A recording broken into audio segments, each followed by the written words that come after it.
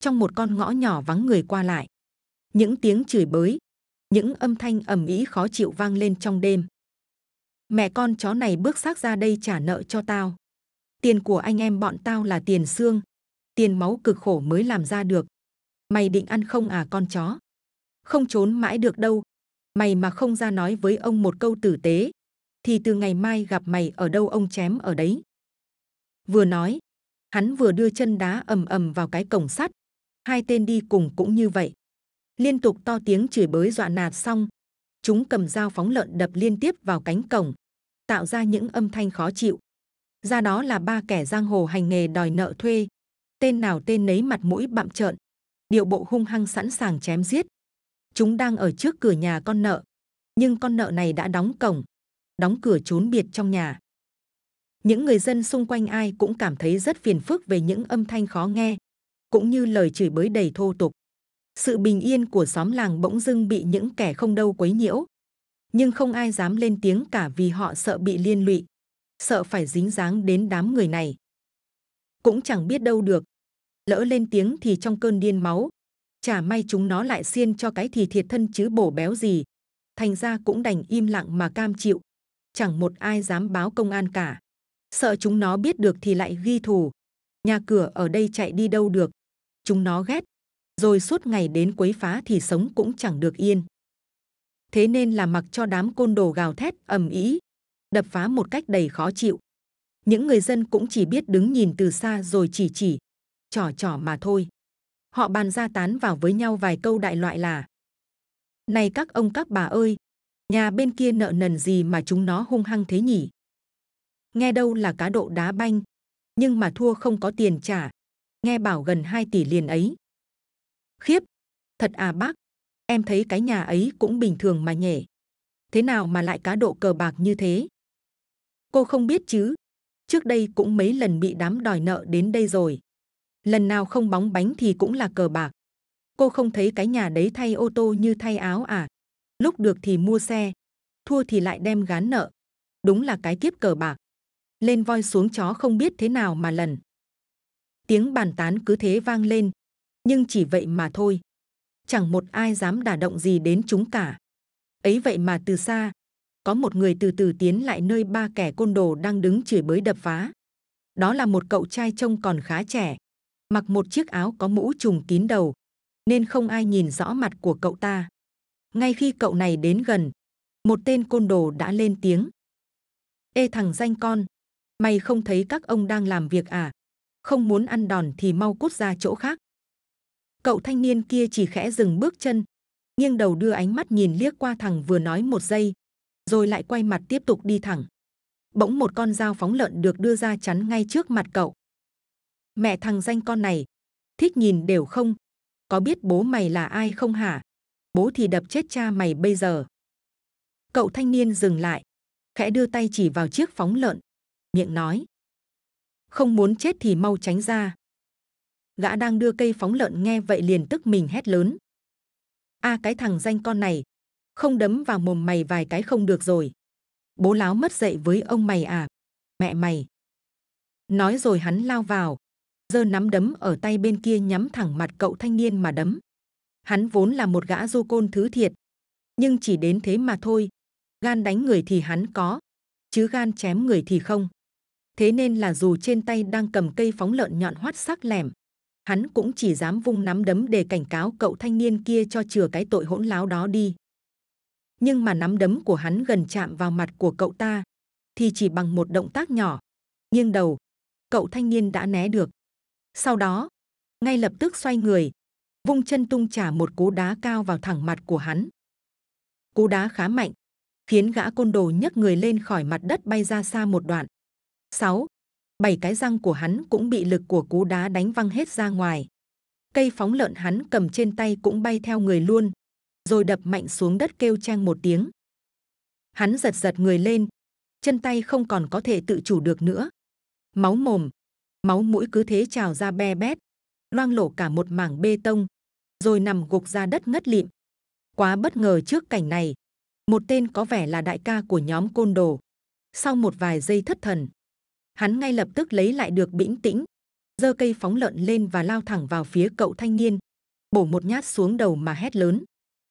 Mẹ thằng chó này, mày thích chết à? Dầm một tiếng, cây phóng lợn mà hắn vừa bổ xuống đã chém ngay xuống mặt bê tông, nơi cậu thanh niên vừa đứng cách đó một gang. Mặt bê tông bị vỡ ra, còn cây phóng lợn bị mẻ cả một mảng lớn. Chứng tỏ lực của cú chém vừa rồi vô cùng mạnh. Tất nhiên cú chém đó không trúng đích. Sau cú chém, gã côn đồ đưa ánh mắt liếc sang, định bụng tiếp tục vung phóng lợn truy sát cậu kia. Nhưng không, cánh tay của hắn vội buông rơi cây phóng lợn xuống mặt đất mà đưa lên mặt mình hòng che chắn. Bằng một cách nào đó không thể tưởng được, cậu thanh niên sau khi né được nhát chém, đã nhanh chóng đưa một cánh tay bóp chặt lấy hàm của gã côn đồ. Xong, nhấc bổng hắn lên trên không với một sức mạnh kinh hồn. Cậu gằn lên từng tiếng. Tao đã bảo tránh ra. Chúng mày điếc à? Ngay lập tức những ngón tay của cậu bóp chặt lại. Từ bàn tay, những đường gân máu nổi lên, rồi dần lan đến những ngón tay. Một lực bóp cực mạnh đang được cậu thanh niên dồn vào. Gã côn đồ ngay khi bị nhấc bổng lên, đã vội vàng đưa tay lên làm đủ mọi cách để có thể thoát ra, nhưng không được. Nay lại cảm nhận được sức ép ngày càng tăng của những ngón tay. Sự đau đớn dần dần được truyền qua. Hắn cảm nhận được xương hàm của mình đang dần nứt vỡ. Hắn dãy giụa điên cuồng nhưng chỉ là vô vọng. Rồi rắc một tiếng, âm thanh khô khóc vang lên. Hàm dưới của hắn đã bị những ngón tay của cậu thanh niên bóp nát. Xương răm thịt vụn răng lưỡi và máu của hắn lẫn lộn vào với nhau, khiến hắn dù có muốn hét lên thật to cũng chẳng thể hét được nữa. Nhưng chưa dừng lại ở đó, cậu thanh niên vẫn cứ bóp lấy cái hàm đã gãy nát, rồi đập thật mạnh cái cơ thể của gã côn đồ đánh dầm một tiếng xuống nền bê tông cứng. Cũng như tên lúc nãy, gã côn đồ ngay lập tức rơi vào bất tỉnh, người ngậm mềm nhũn, máu me cũng bắt đầu túa ra. Cậu thanh niên sau khi đã giải quyết xong hai tên côn đồ, đưa ánh mắt rực lửa nhìn về phía kẻ cuối cùng vẫn còn đang đứng chôn chân, gằn giọng hỏi: "Còn mày, có đánh không? Nếu đánh thì nhanh đi." Gã côn đồ vội lùi lại phía sau vài bước, cây phóng lợn trên tay hắn chẳng biết đã rơi từ bao giờ. Trong ba kẻ thì hắn ít tuổi cũng là đứa nhát gan nhất. Chứng kiến cảnh hai đàn anh của mình, một người ăn một đá đã máu me be bét nằm gục, một người bị nhấc hẳn lên trên mặt đất chỉ với một tay sau đó lại bị bóp nát hàm thì khiến hắn hoảng sợ vô cùng. Tuy là dân xã hội, nhưng hắn cũng chỉ là giang hồ nhõi con, dựa hơi các anh lớn, rồi cậy đông cộng với vẻ ngoài bạm trợn để đe dọa và chèn ép những người thấp cổ bé họng, chứ thực chất chỉ là kẻ gan thỏ. Lâm trận nhưng lỡ có biến thì sẽ là kẻ đầu tiên bỏ chạy. Lắp bắp mãi, hắn mới nói được một câu. Không, không, em không. Dứt lời hắn tiếp tục lùi lại, cho đến khi lưng hắn chạm vào bức tường, không thể lùi được nữa hắn mới đứng lại. Chân run run đã đứng không vững, đưa ánh mắt đầy sợ sệt nhìn về phía cậu thanh niên. Cậu ta thấy vậy cũng không nói gì thêm, rồi lại tiếp tục dảo bước đi tiếp. Chẳng mấy chốc đã mất dạng sau con hẻm tối. Những người dân khi nãy chứng kiến toàn bộ sự việc cũng không tin vào mắt mình. Sau khi cậu thanh niên đã đi khuất, họ mới kéo nhau ra xem rồi nhanh chóng gọi xe đưa hai kẻ đang nằm bẹp trên mặt đất đến bệnh viện. Cậu thanh niên đó là tên là Tâm, Hoàng Nhật Tâm. Tâm vốn là kết quả của một cuộc hôn nhân không hạnh phúc, một cuộc hôn nhân vội vàng của thời đại này. Hay nói đúng hơn, bố mẹ Tâm cũng không phải là dạng hiền lành chăm ngoan gì, cũng là đàn anh, đàn chị dân chơi tổ lái, quen nhau chỉ trong thời gian ngắn ngủi. Anh chị này chỉ vì chót lỡ có bầu nên cũng đành đưa nhau về ra mắt gia đình. Tuy nhiên cả hai bên ông bà nội, ngoại đều không đồng ý và muốn họ phá bỏ cái thai. Nhưng lúc đó cả hai đều quyết tâm cưới cho bằng được. Cuối cùng hai bên cũng đành nhắm mắt đồng ý làm đám cưới. Sau khi cưới nhau về cả hai vẫn quen tính cũ, ăn chơi nhảy múa suốt ngày, không tu trí làm ăn.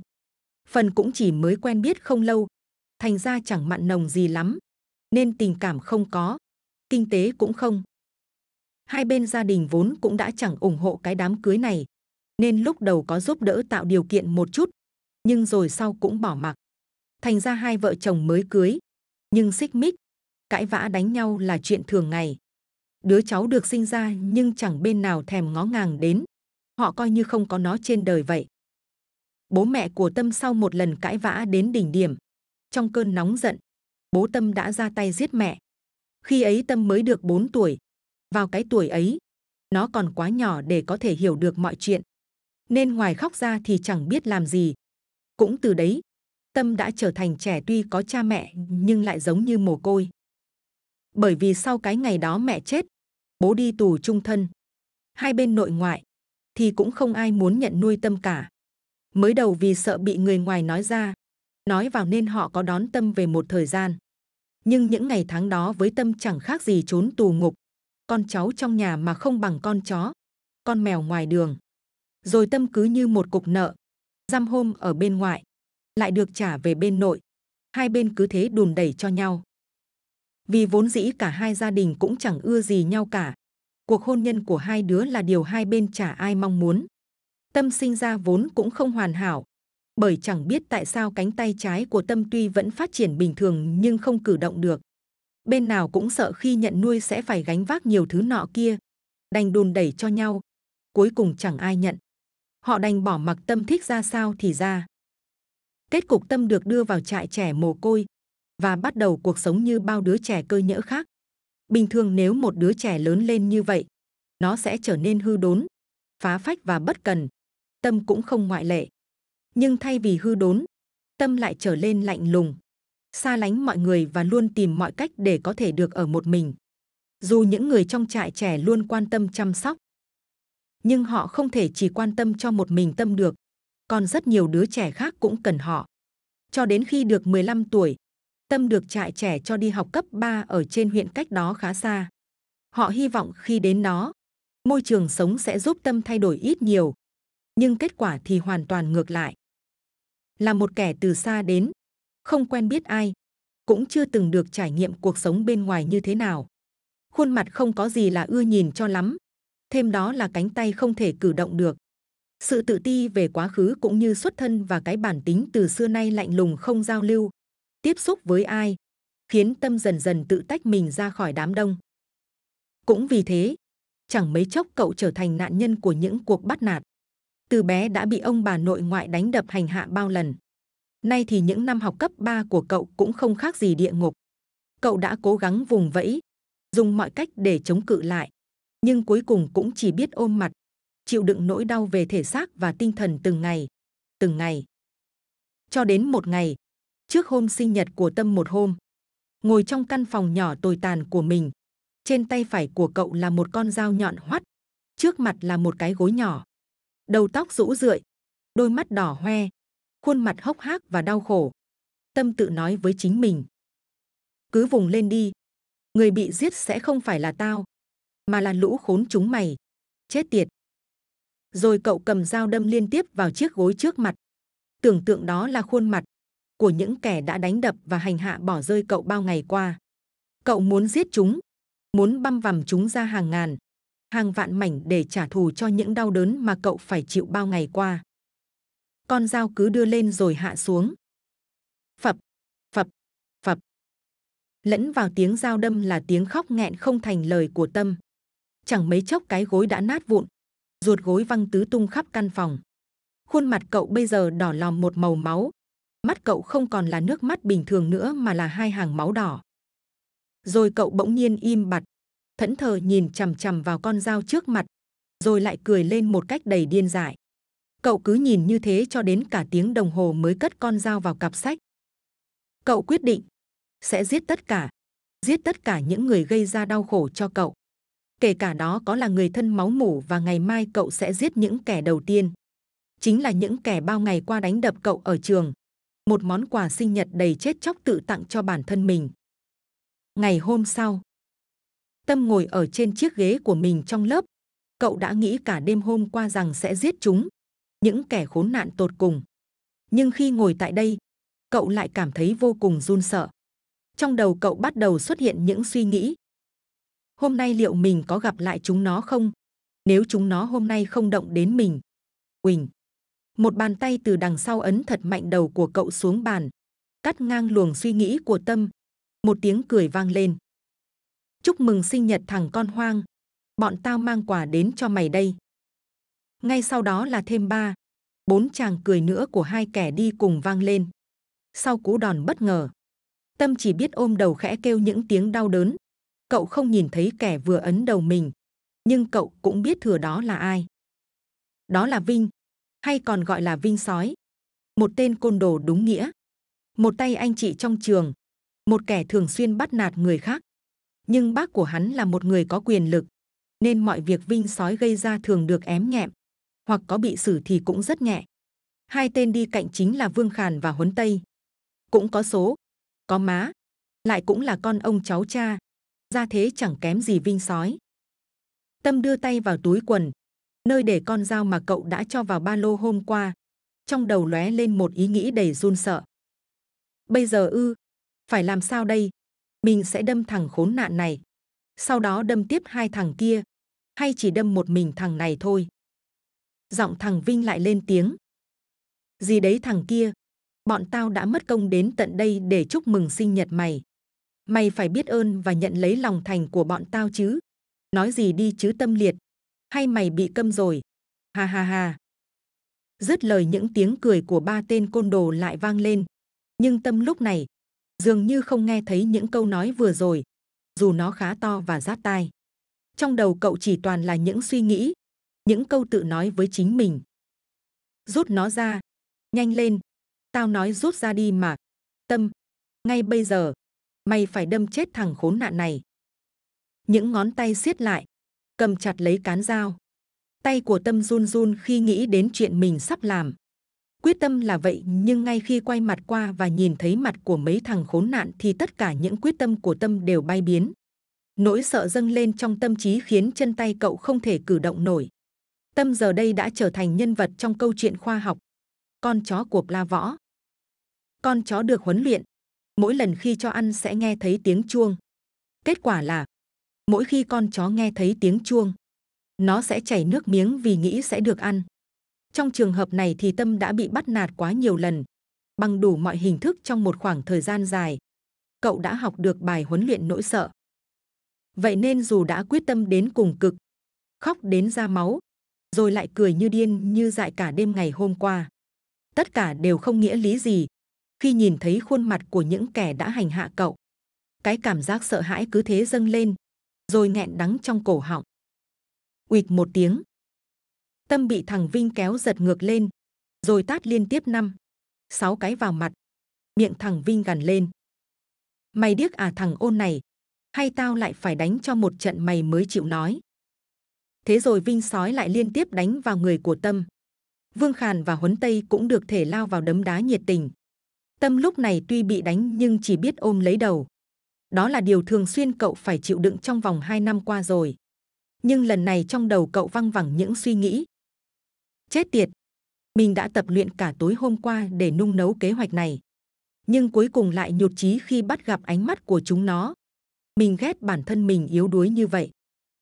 Sau một hồi khi đã đánh chán tay, tên Vinh mới lên tiếng, giọng cười cợt. Thôi được rồi nghỉ đi, đánh nữa nó chết mất đấy. Nhưng mà hôm nay là sinh nhật mày cơ mà nhể. Đâu có thể để mày trải qua một ngày bình thường như mọi ngày được đúng không? Thế nên là sau giờ học đi theo tao, chính tay tao sẽ tổ chức sinh nhật cho mày. Dứt lời, thêm một cú đạp thật mạnh vào người khiến tâm ngã rúi rụi. Vinh cùng hai thằng bạn của mình cười lên sằng sặc rồi mới quay mặt bỏ đi. Tâm nằm đó đau đớn, ôm bụng thở từng tiếng đầy khó nhọc rồi mãi mới gượng dậy được. Cậu lủi thủi phủi bụi quần áo, lau nước mắt đã chẳng biết chảy ra từ bao giờ và trở lại chỗ ngồi, mà gục mặt xuống bàn tiếp tục khóc không thành tiếng. Những người xung quanh thấy vậy cũng mặc kệ vì bọn họ đã quá quen với cảnh này. Có người thì mỉa mai cho rằng bị ăn đòn là đúng. Người tốt thì tỏ ra thương cảm muốn giúp đỡ, nhưng cũng sợ chính mình sẽ trở thành nạn nhân tiếp theo. Thầy cô giáo mà biết chuyện cũng đành ngó lơ. Vì đám đó không con ông cháu cha, thì cũng là con nhà anh chị giang hồ có máu mặt.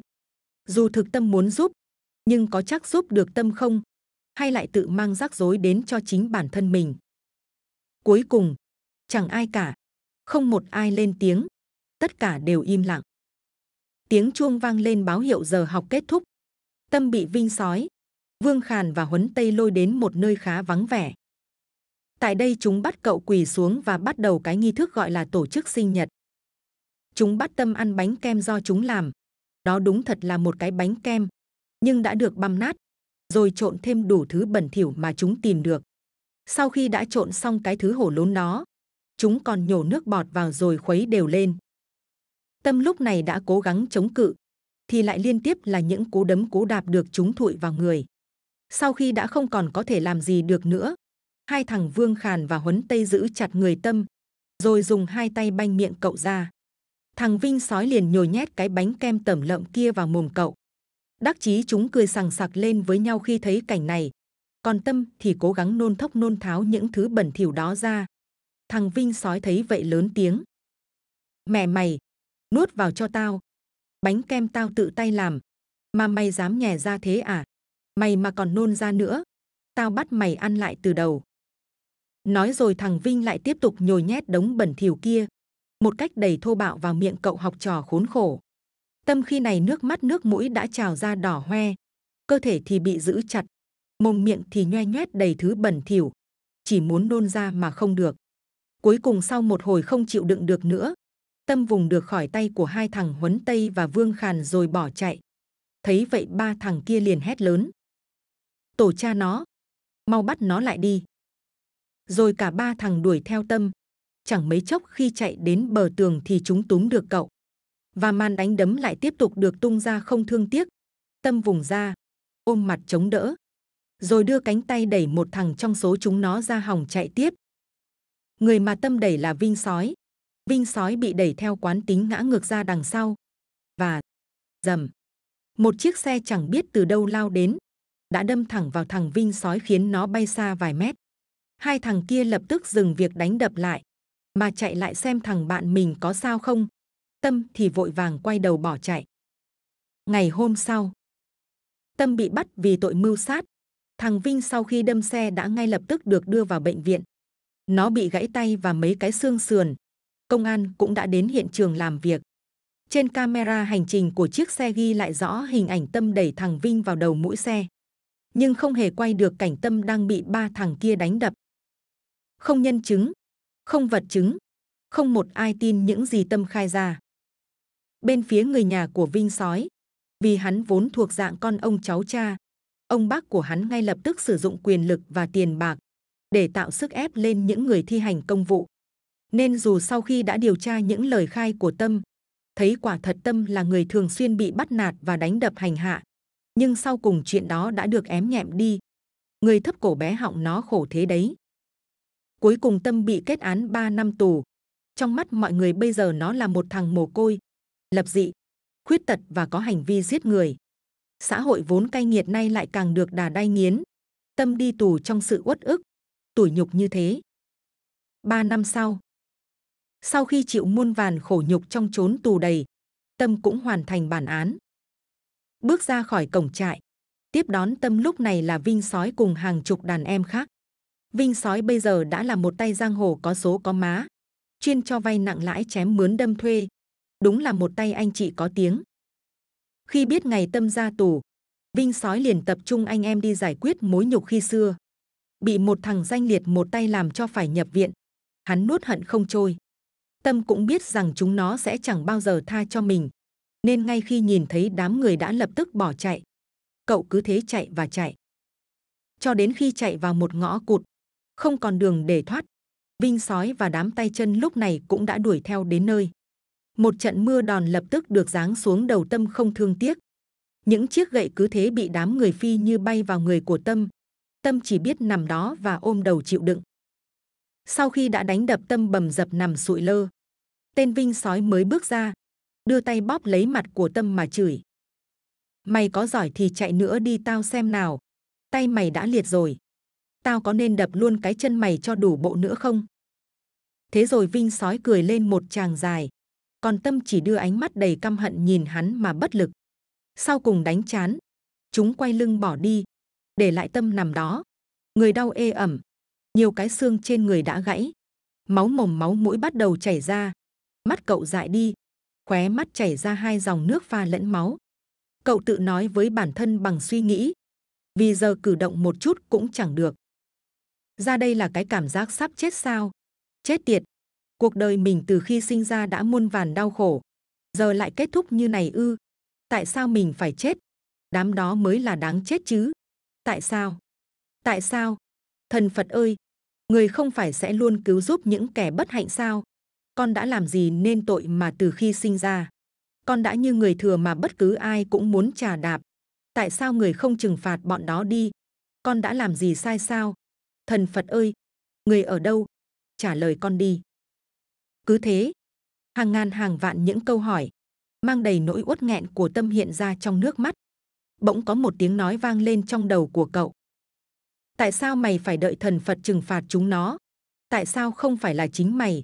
Mày thấy đấy, thần Phật đã không đáp lại lời cầu xin của mày. Những đứa trẻ khác khi được sinh ra trên đời đều được mong ngóng chờ đợi con may là đứa trẻ bị chính người thân chối bỏ. Họ muốn giết mày từ trong trứng nước. Rồi khi mày lớn lên, người thân có ai quan tâm mày sống chết ra sao? Cậu ôm đầu lại nhưng tiếng nói lại tiếp tục được phát ra từ trong tâm tưởng. Bước ra ngoài đường thì người lạ đánh đập hành hạ mày. Cái gọi là luật pháp vốn sinh ra để đem lại chút công bằng cũng chẳng bảo vệ nổi mày, mà thậm chí còn đẩy mày vào con đường tù tội. Thế thì mày còn mong chờ gì vào người khác? Nếu muốn báo thù thì hãy tự làm đi, hãy tự tay giết chết chúng nó. Hãy để cho chúng cảm nhận được những gì mà mày đã phải trải qua. Cầm lấy, hãy nhận lấy sức mạnh của quỷ và giết sạch chúng nó đi. Tiếng nói vừa dứt thì có một khối cầu màu đỏ bay lơ lửng trước mặt cậu. Tâm sau khi nghe được giọng nói lạ trong đầu, thì tâm thức cậu trở nên hỗn loạn không ngừng. Một sự thù hận điên cuồng trong suy nghĩ vang lên. Giết, giết, giết, tao sẽ giết hết những gì chúng mày đã gây ra.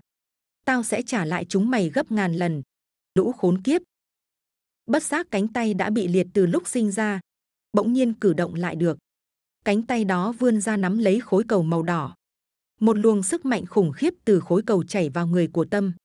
Những vết thương trên người dần dần biến mất. Cậu từ từ đứng dậy, đôi mắt trở lên đen đặc, miệng nở một nụ cười đầy ám ảnh. Khẽ đưa chiếc mũ áo đội lên trùm kín đầu. Tâm từ từ bước đi, một con quỷ từ cõi chết đã trở về báo thù. Quay trở lại với thực tại, Huấn Tây hiện cũng là một tay anh chị đang ngồi uống nước trong nhà. Xung quanh là bốn, năm tên đàn em. Đang nói chuyện rôm rả thì có tiếng chuông điện thoại. Đưa tay cầm lấy cái điện thoại. Hắn bắt máy. Chưa kịp nói gì thì đầu dây bên kia đã vang lên những tiếng đầy lo sợ. Anh Huấn, thằng Long với thằng Dũng bị người ta đánh nhập viện rồi. Em sợ lắm. Huấn liền gằn lên. Cái gì? Là bọn nào làm? Thế hai thằng đó có sao không? Đầu dây bên kia đáp. Hai thằng vẫn đang cấp cứu. Còn ai ra tay thì em không biết nữa. Nhưng nó chỉ có một thằng thôi. Một thằng thôi sao? Một thằng mà đánh ba thằng. Để hai thằng nhập viện. Vâng anh. Nhưng mà thằng này nó có cái gì khác lắm. Em thấy sợ khi nhìn vào mắt của nó. Thôi được rồi. Mày ở đấy lo cho hai thằng kia đi. Tí tao qua xem tình hình thế nào, rồi sẽ cho người đi điều tra xem. Thằng đó là thằng nào mà to gan lớn mật như vậy?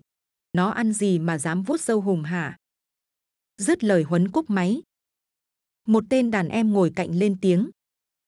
Có chuyện gì vậy anh huấn? Trông anh có vẻ bực thế.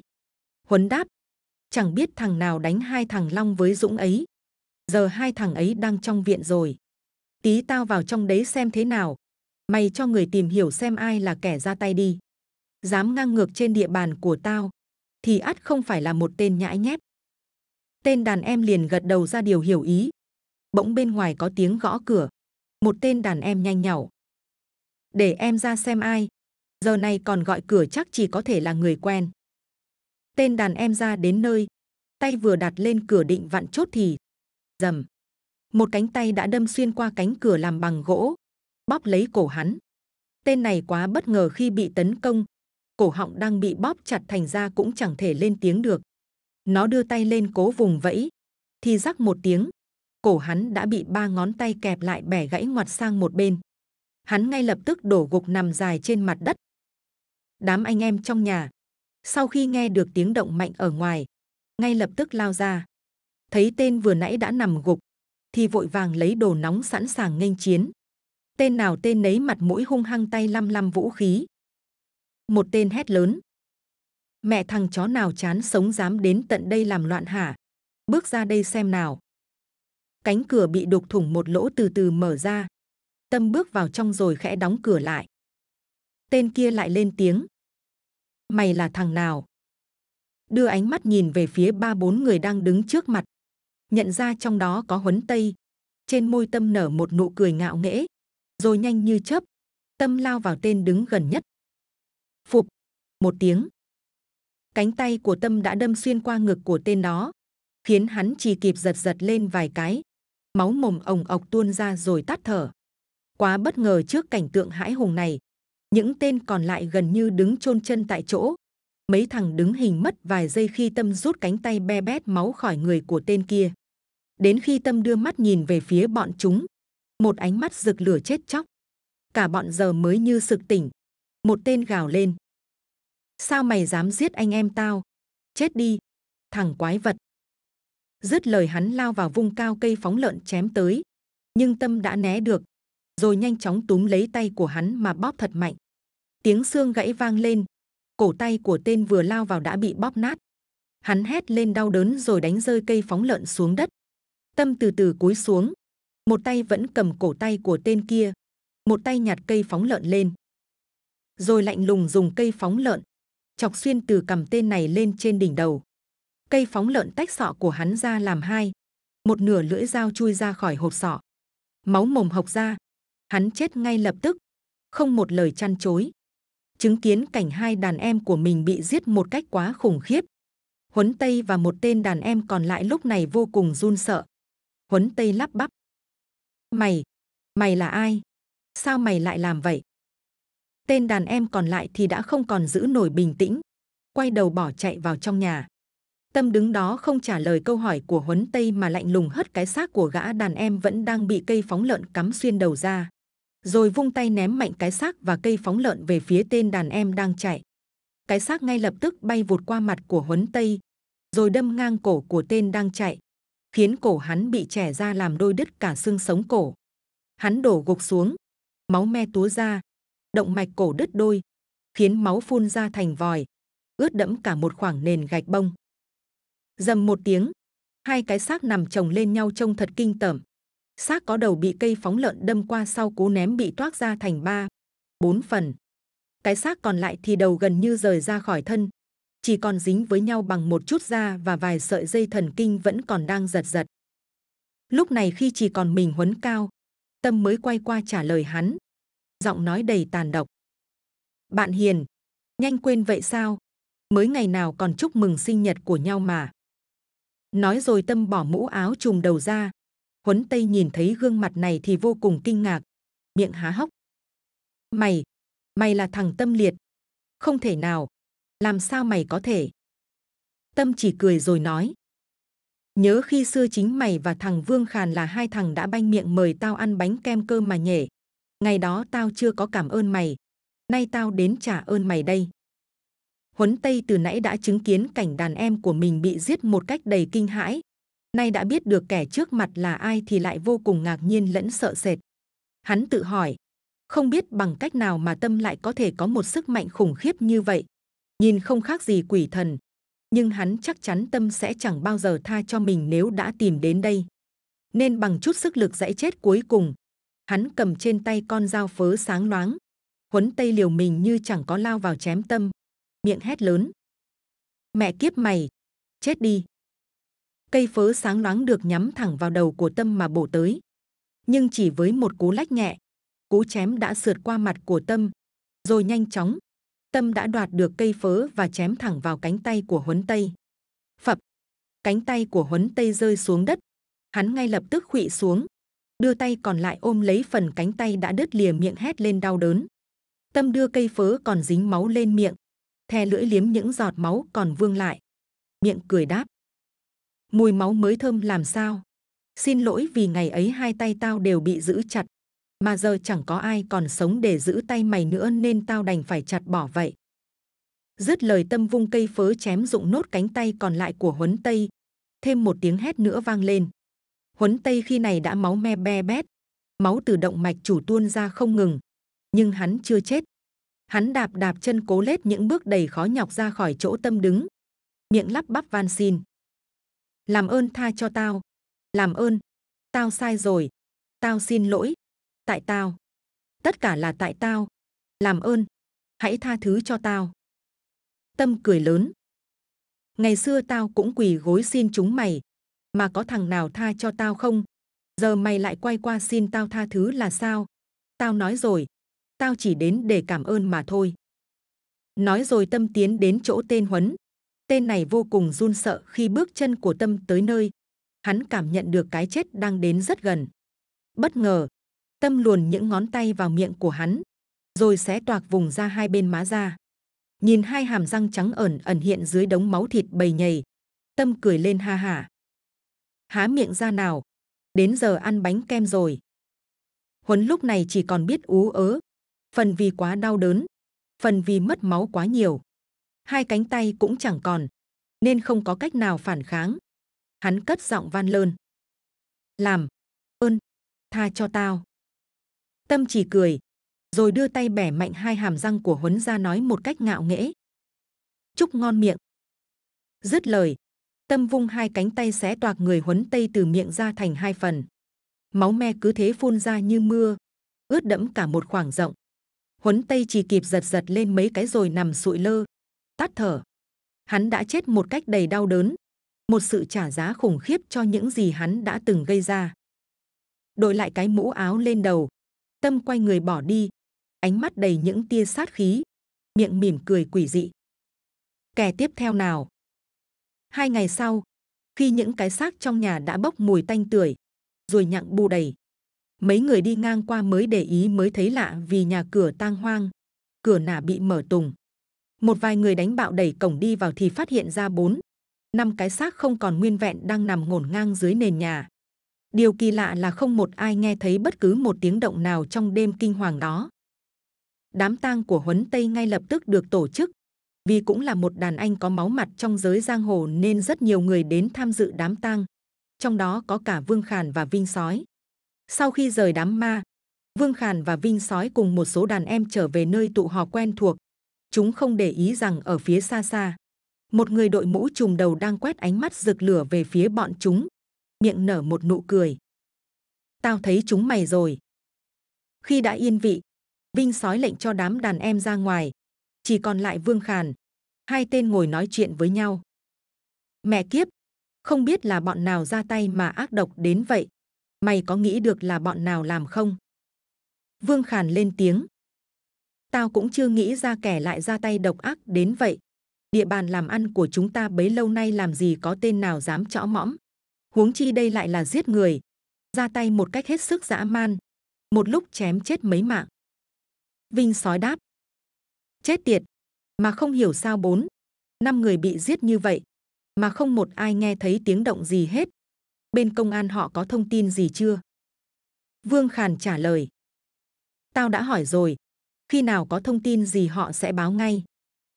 Cả hai đang nói thì cánh cửa bỗng hé mở, một cánh tay be bét máu thò vào rồi một gã đàn em đổ ầm nằm gục trong vũng máu, miệng thều thào. Đại ca, chạy đi. Trở lại ít phút trước, khi đám đàn em đang ngồi hút thuốc ở ngoài, thì bỗng có tiếng gõ cửa. Một tên chạy ra mở nhìn thấy Tâm. Hắn liền hất hàm hỏi. Mày là thằng nào? Tìm ai? Tâm khẽ ngửa mặt lên, để lộ khuôn mặt của mình và nhếch miệng cười. Nhanh quên vậy người anh em, mới hôm trước vừa đi đón tôi ở cổng trại cơ mà. Sau đó không nói ra thì ai cũng biết tiếp theo là một cuộc tàn sát đúng nghĩa. Hơn chục người chẳng mấy chốc bị giết sạch. Những tiếng la ó thảm thiết vang lên nhưng trong nhà hai tên Vương Khàn và Vinh Sói tuyệt nhiên không nghe thấy gì. Quay lại thực tại, khi một trong số những tên đàn em cố lết qua cửa để báo tin cho hai đại ca của mình. Sau khi lắp bắp cố nói được câu sau cùng, tên này liền trợn trừng mắt rồi tắt thở. Cảm nhận được điều không hay vinh sói ngay lập tức rút súng trong người ra. Vương khàn cũng cầm ngay một con dao nhọn hoắt sẵn sàng nghênh chiến. Bụp! Một cánh tay khác đầy máu được đặt lên cánh cửa. Những tiếng răng rắc vang lên. Nhìn bằng mắt thường cũng có thể thấy những ngón tay đang hằn lên cánh cửa làm bằng gỗ cứng bằng bằng bằng vinh sói ngay lập tức bắn ba phát đạn về phía kẻ đang tiến vào rồi đưa ánh mắt hoang mang chờ đợi cánh cửa từ từ hé mở những âm thanh lạnh lùng ken két vang lên rồi bước ra từ đó là một kẻ mặc áo mũ trùng kín đầu.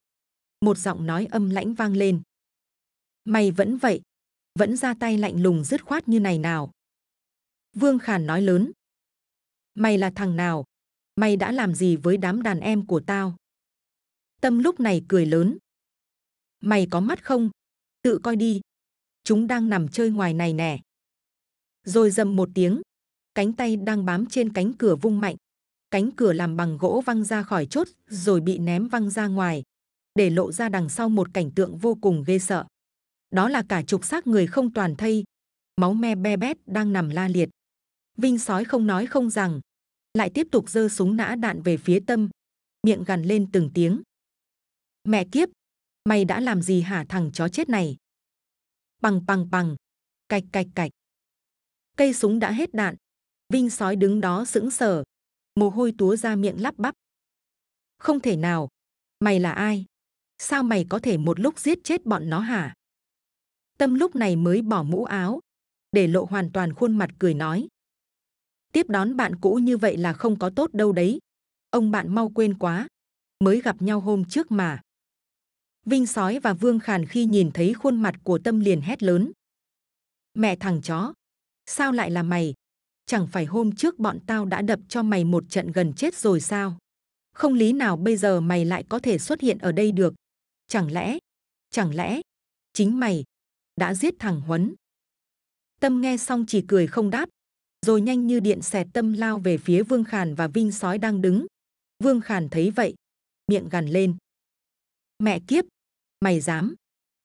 Rồi hắn đưa con dao nhọn đang cầm trên tay, đâm thẳng vào người Tâm, nhưng Tâm đã nhanh chóng tước được con dao, rồi tung chân đạp một cú thật mạnh vào người, khiến Vương Khàn lùi ra phía sau, cả thân hình to lớn đổ ầm vào chiếc tủ rượu tây. Cầm con dao nhọn vừa cướp được, Tâm lao đến phía Vinh Sói, một tay túm vào cổ của hắn và nhấc hắn lên khỏi mặt đất, rồi đập mạnh người Vinh xuống chiếc bàn bằng gỗ. Ấn người Vinh Sói nằm ngửa ra, Tâm đâm con dao xuyên qua cánh tay của hắn bằng một nhát thật mạnh, con dao đâm ngập lưỡi ghim chặt cánh tay của Vinh sói xuống mặt bàn, khiến thằng này thét lên đầy đau đớn. Tâm cười nói, xin lỗi nhá, mày mà chạy thì tí nữa tao đi kiếm cực lắm, thế nên là găm mày ở đây vậy. Lát sẽ đến lượt mày. Quay về phía Vương Khàn, khi nãy đã bị một đạp đã khiến cho vài ba cái xương sườn của hắn gãy vụn. Những mảnh xương răm đâm vào ngực khiến hắn chỉ còn nằm thở hồng hộc, đau đớn đưa tay lên ôm vết thương. Ánh mắt đầy sợ hãi khi thấy tâm đang nhìn về phía mình. Mặc dù rất hoảng sợ khi tận mắt sở thị màn đánh đấm của tấm liệt vừa rồi lòng không rét mà run nhưng hắn vẫn cố làm ra vẻ không sợ nói mày định làm gì tao thằng chó? Tâm nghe xong liền cười lên hăng hắc. Ân đền oán trả ba năm trời chúng mày đánh đập hành hạ tao đủ mọi kiểu mà giờ tao mới cho một đạp đã nằm thở dốc là sao? Chợt tâm để ý thấy có chiếc máy xay sinh tố loại lớn ở trong nhà. Loại máy công suất lớn có thể xay được cả thịt.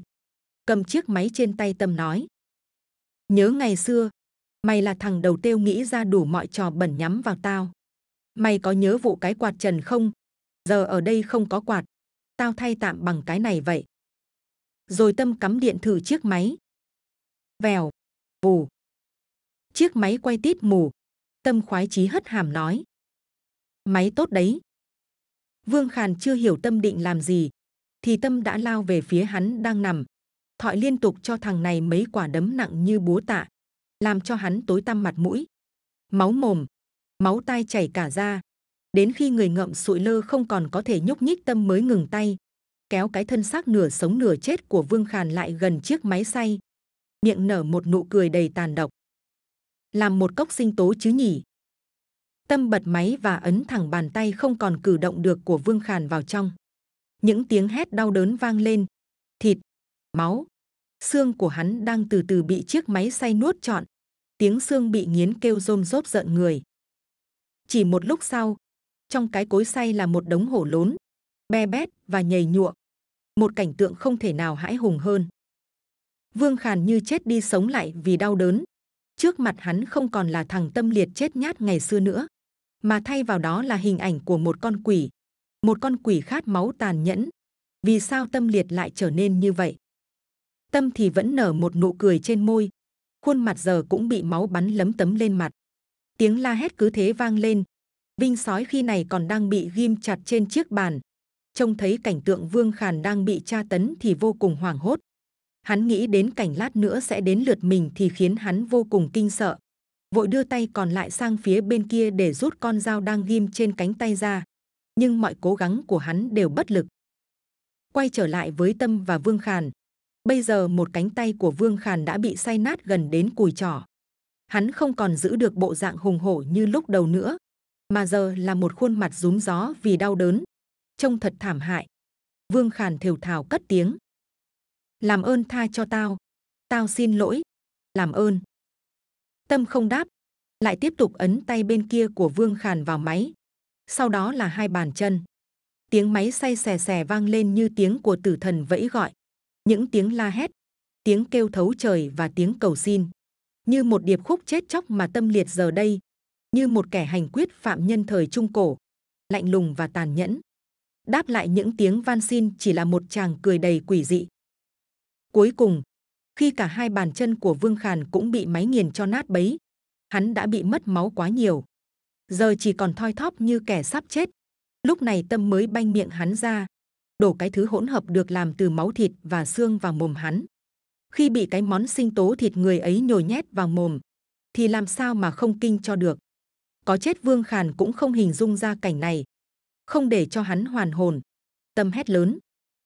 Nào, uống đi chứ. Nếu mày mà nôn ra tao sẽ bắt mày liếm lại từ đầu. Giống khi xưa chúng mày làm với tao đấy. Nào, nuốt mau. Nhưng Vương Khàn đã không còn có thể làm gì được nữa. Mắt hắn trợn ngược lên, mồm há hốc, cố đẩy cái thứ kinh tởm kia ra khỏi miệng.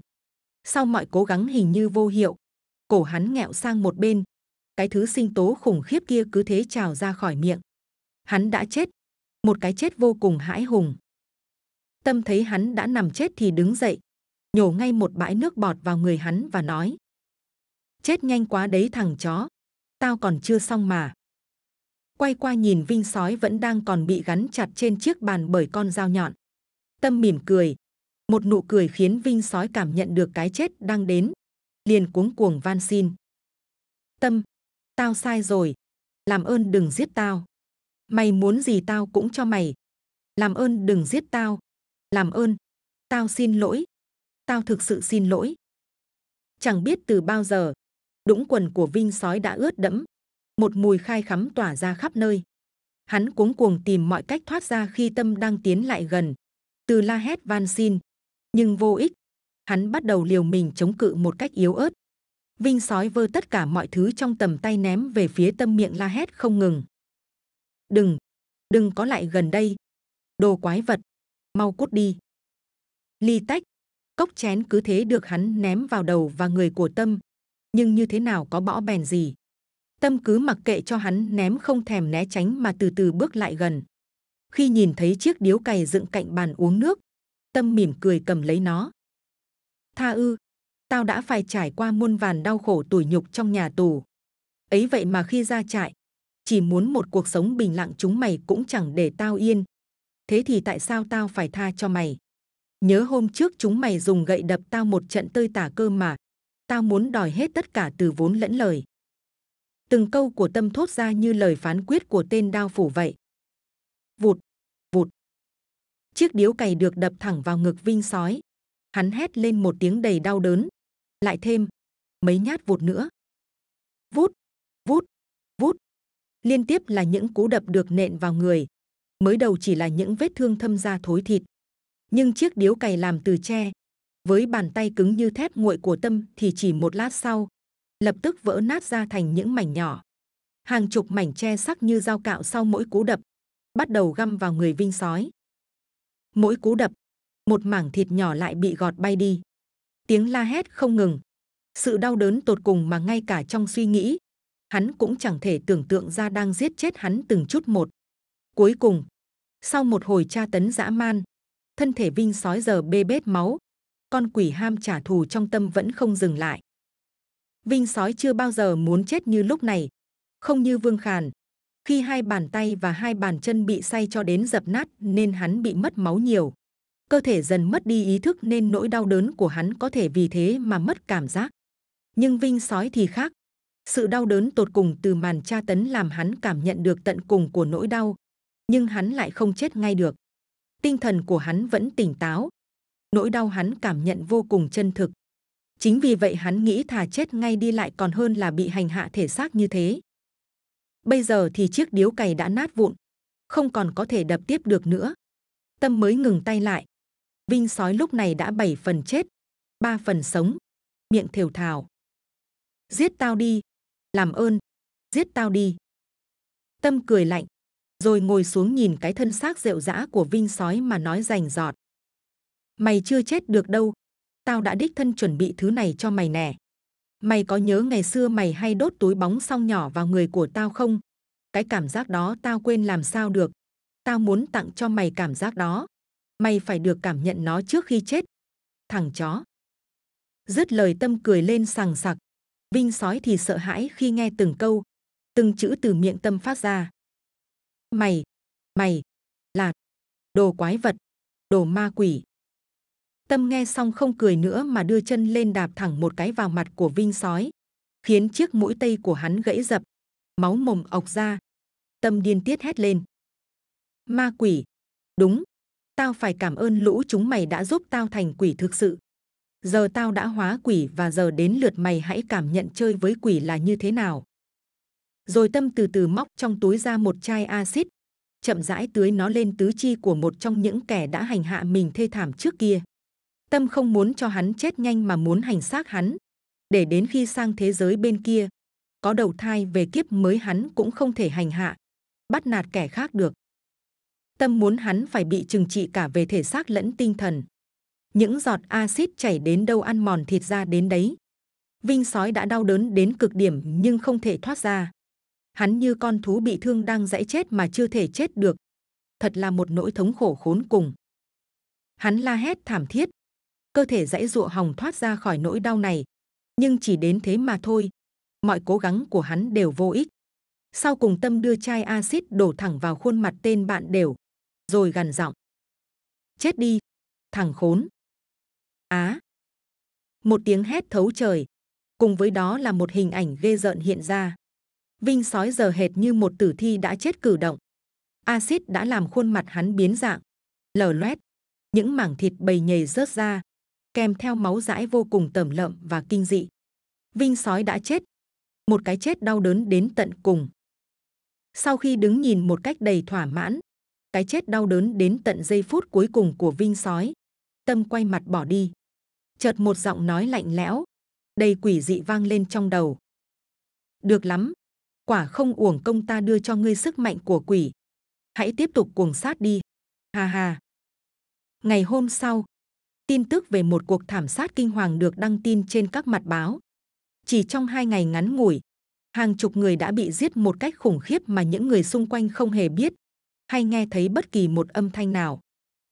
Trung hay còn gọi là Trung Seven, người nhà của Vinh Sói, là một người có tiền và quyền lực. Sau khi biết được Vinh Sói đã bị giết một cách hết sức dã man thì vô cùng bực tức.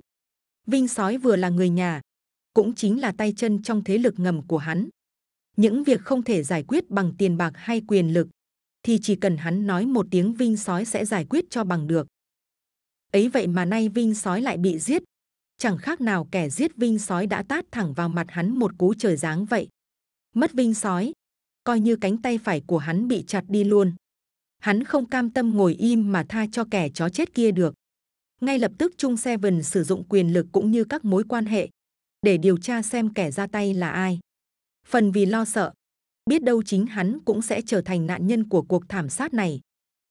Tối hôm ấy, sau khi rời khỏi đám ma của Vinh Sói, Trung trở về nhà và đóng cửa ngồi yên lặng trong phòng.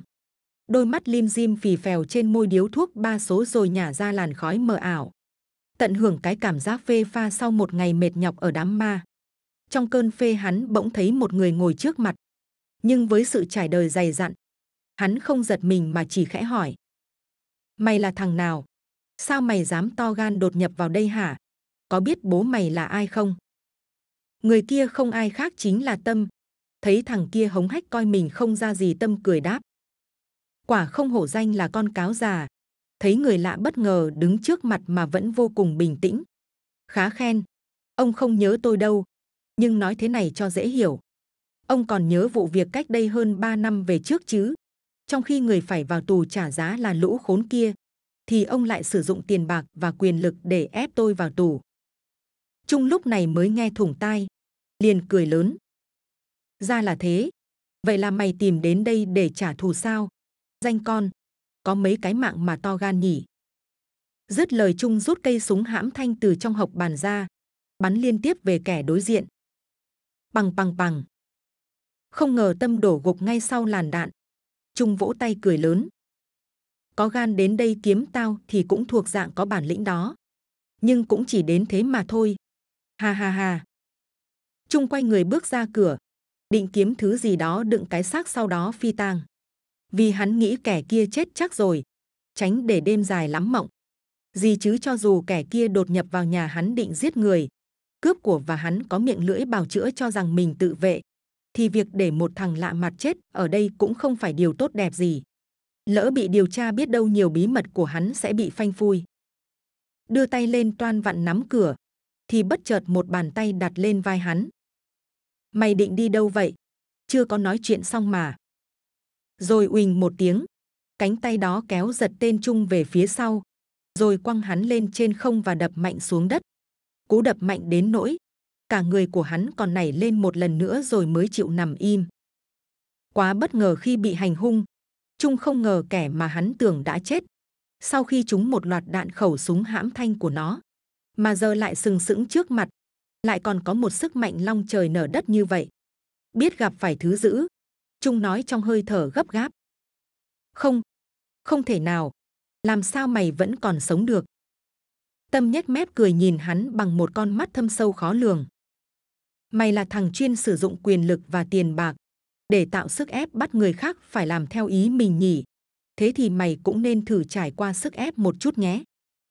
Dứt lời tâm bê chiếc bàn gỗ đặt trong phòng, nơi trung thường uống trà ném thẳng lên người hắn. Cú đập quá mạnh đã khiến cơ thể hắn đau đớn như thể xương cốt vỡ tan. Hắn chỉ biết kêu hự lên một tiếng, cả cơ thể ngay lập tức đã bị sức nặng của chiếc bàn gỗ quý ép xuống. Tâm liền cất tiếng lạnh lùng. Thấy thế nào? Sức ép thật là tuyệt vời phải không? Dứt lời Tâm tiếp tục lấy chiếc tủ quần áo ném lên chiếc bàn. Sức ép lần này còn nặng hơn lần trước nhiều, khiến cho xương sườn của tên này kêu lên răng rắc. Đầu hắn cũng bị đè nghiến. Hắn cảm nhận cơn đau càng lúc càng dữ dội. Trung đau đớn thống khổ đến không thể cất thành lời. Bởi giờ đây dưới sức nặng, hắn thở còn khó chứ còn nói gì nữa. Tâm thấy như vậy thì tỏ ra rất hài lòng. Sao nào, mới có một chút sức ép mà đã không chịu nổi rồi ư? Cái điệu bộ đạo mạo bình tĩnh của mày đâu rồi? Trung lúc này chỉ biết đưa ánh mắt cầu xin tha mạng. Nhưng không, tâm điên cuồng lấy tất cả những gì còn lại trong phòng ném hết lên người hắn cứ mỗi đồ vật được vứt lên tâm lại hét nào giờ thì dùng tiền bạc và quyền lực của mày để thoát ra khỏi đống sức ép này đi xem nào. Ha ha ha. Sau cùng, Trung không thể thở nổi. Tâm một lần nữa phi thân lên đống hỗn độn kia mà nhún. Bản thân cảm thấy thỏa mãn và thống khoái vô cùng. Tâm không hề biết, với sức nặng ngàn cân, cộng với những cú nhún của anh, Trung đã chết bẹp tự lúc nào. Hắn đã tắt thở, một dòng máu tươi chảy ra từ đống hỗn độn, loang lổ cả căn phòng. Thêm một kẻ nữa phải chết, một cái chết thảm khốc mà những người ở ngay tầng trên của ngôi nhà cũng không hề hay biết.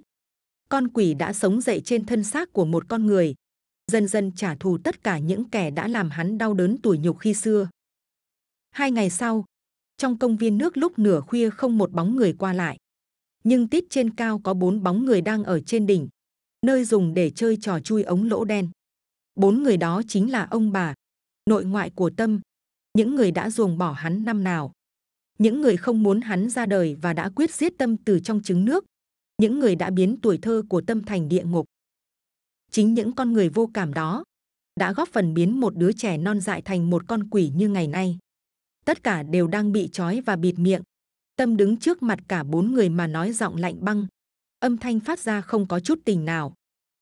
Chào ông bà nội, ông bà ngoại, cháu đã về rồi đây, mọi người vẫn khỏe chứ? Sau khi nghe tiếng của Tâm, cả bốn người đều nhận ra kẻ trước mặt đã bắt mình đến đây là ai. Tất cả đều ú ớ bất ngờ, bởi không biết hắn sẽ giở trò gì. Tại sao hắn lại trói họ? Thằng nghịch tử, thằng trời đánh.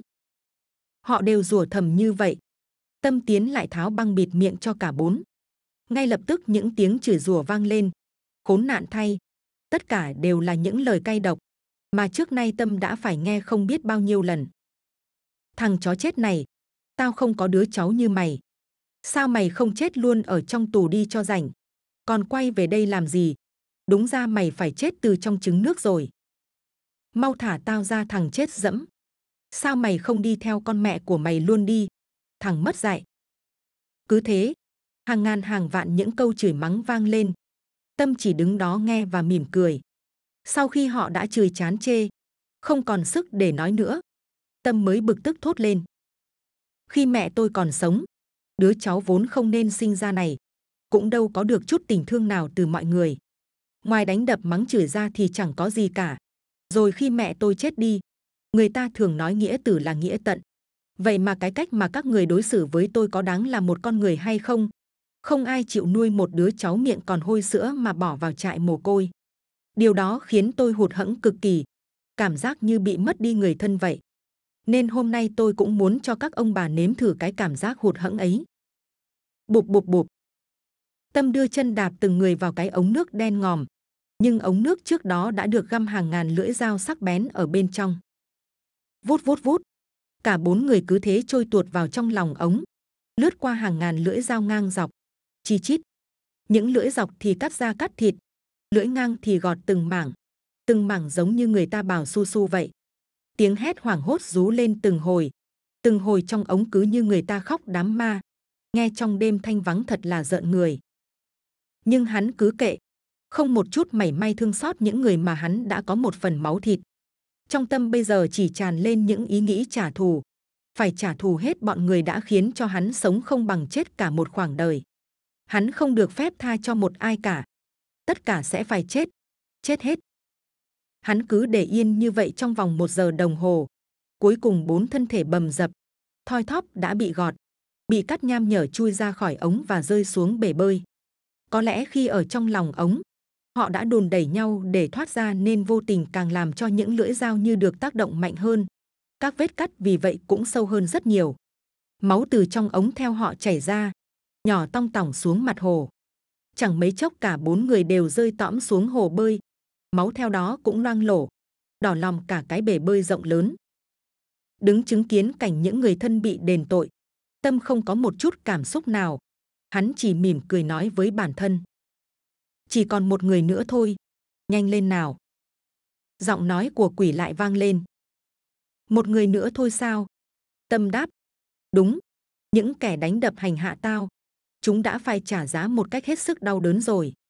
Kẻ cậy quyền lực, tiền bạc tạo sức ép khiến tao lâm vào tù tội và những kẻ được gọi là người thân, nhưng lại bỏ rơi tao lúc còn bé tí khiến tao hụt hẫng, không còn nơi bấu víu cũng đã phải nhận những cái chết rất đau đớn. Tao không muốn giết những người vô tội, chỉ một mình tao là quỷ được rồi. Vậy nên chỉ còn một người nữa thôi. Ngày hôm sau, Tâm cố tình gây ra một vụ cướp ngân hàng. Hắn đã lấy đi rất nhiều tiền, nhưng lại cố tình lộ ra sơ hở để dẫn dụ cảnh sát. Ngay sau đó hắn bị bắt, mà không hề có thái độ phản kháng hay chống cự gì cả. Sau khi xét xử, cộng thêm một tiền án từ trước đó mà hắn bị tăng nặng. Mặc dù hắn đã có một tuổi thơ dữ dội, bị bỏ rơi, bị đánh đập và hành hạ, bước đường cùng mới đẩy bản thân vào vòng sát nghiệp, luật sư cũng được chỉ định bào chữa cho hắn nhưng cuối cùng Tâm bị tòa tuyên án 18 năm tù và chấp hành án tại nhà tù. Đó cũng chính là nơi cha của Tâm chịu án trung thân sau khi giết vợ của mình. Tâm bước đến và ngồi cạnh một người đàn ông lớn tuổi, đầu đã điểm nhiều sợi bạc. Ông ta đưa cho Tâm một điếu thuốc tự làm, rồi cũng tự châm cho mình một điếu. Người đàn ông lên tiếng.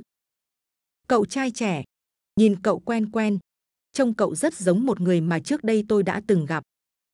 Tâm cũng đưa điếu thuốc lên môi, hút một hơi rồi phả ra một làn khói ma mị nói. Ông nghĩ sao về một đứa trẻ bị bỏ rơi và bị tất cả mọi người trà đạp, hành hạ? Người đàn ông yên lặng, tỏ ý lắng nghe. Vậy là Tâm kể cho ông nghe tất cả những thứ mà mình đã trải qua trong cuộc đời. Ông nghe xong liền bảo. Đó là một câu chuyện dài và bất hạnh, nhưng ta cũng phần nào hiểu được điều đó. Khi con người ta quá tuyệt vọng và rơi vào đường cùng, một là người ta sẽ chọn cái chết, hai là sẽ giết tất cả.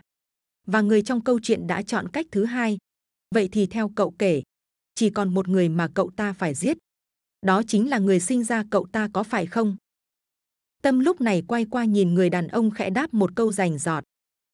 Đúng vậy đấy, thưa cha. Người đàn ông sau khi nghe được câu nói này, thì giật mình quay qua nhìn Tâm thật kỹ. Bấy giờ ông ta mới nhận ra, Tâm chính là nhân vật trong câu chuyện vừa rồi, cũng chính là đứa con trai mà mình đã sinh ra. Không ngờ người cha trong câu chuyện mà cậu ta muốn giết, cuối cùng lại chính là mình. Ông ta bất giác thở dài nói.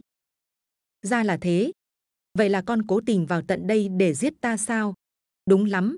Khi ấy ta còn trẻ, ta cũng không ngờ những bồng bột của tuổi trẻ lại khiến cuộc đời của con bất hạnh thế này. Tất cả là lỗi của ta. Ta xin lỗi. Con giết ta. Ta cũng không hề oán trách. Thậm chí ta phải cảm ơn cuộc đời đã cho ta gặp được con trai của mình trước khi chết. Vậy là mãn nguyện rồi. Nói đến đây, khóe mắt người đàn ông cay cay rồi chảy tràn trên khuôn mặt sừng sẹo. Tâm vẫn điềm nhiên lắng nghe và đưa tay hút tiếp điếu thuốc còn giang dở. Rồi hắn vứt vội cái mẩu thuốc xuống nền, lấy chân di mạnh lên nó, rồi từ từ giơ tay lên. Phục, cánh tay đưa lên một đường dứt khoát, đâm thẳng vào ngực người đàn ông, nhưng ông ta không hề phản kháng hay tránh né. Dồn hết chút sức tàn còn lại, ông cố gắng đưa hai cánh tay ôm tâm vào lòng và thều thào nói những lời sau cuối trước khi chết. Con trai, ta xin lỗi. Tâm lúc này cũng đưa cánh tay còn lại ôm lấy người đàn ông. Đôi mắt của cậu lúc này cũng đẫm lệ. Bằng bằng bằng. Ba phát súng liên tiếp bắn trúng người Tâm. Cả hai đổ gục, trong tay vẫn còn ôm cứng lấy nhau. Hai con người một già, một trẻ đã chết, nhưng hai cặp mắt vẫn mở trừng trừng. Chỉ khác là đôi môi họ chợt nở ra một nụ cười. Tất cả những người trong trại giam, khi chứng kiến sự việc đều không thể tin vào mắt mình và tự hỏi, tại sao một cánh tay bình thường lại có thể đâm xuyên qua cơ thể người kia như vậy? Nhưng sự việc lạ lùng và quỷ quái nhanh chóng được ém nhẹm. Xác cả hai sau đó được chôn cạnh nhau trong khu nghĩa địa dành cho tù nhân. Song thật kỳ lạ, bởi sáng hôm sau, người ta ra xem xét, thì một ngôi mộ đã không còn nguyên vẹn. Nó không giống như bị đào lên, mà như thể người nằm dưới mộ đã tự mình chui lên vậy. Cái xác nằm bên trong cũng hoàn toàn biến mất. Có một câu nói rất hay như thế này. Thế giới chìm đắm trong đau khổ, không chỉ vì tội ác của những kẻ xấu, mà còn là sự im lặng đáng sợ của những người tốt. Những kẻ xấu đã góp phần tạo nên một con quỷ, nhưng sự im lặng của những người khác cũng có phần trong đó. Xã hội đè nén, người thân bỏ rơi, sự im lặng chết người của những người tốt sẽ khai sinh ra một con quỷ. Khi bị bước đến đường cùng, chẳng còn gì để mất, cũng chẳng có gì để hy vọng, thì con quỷ đó sẽ giết chết tất cả.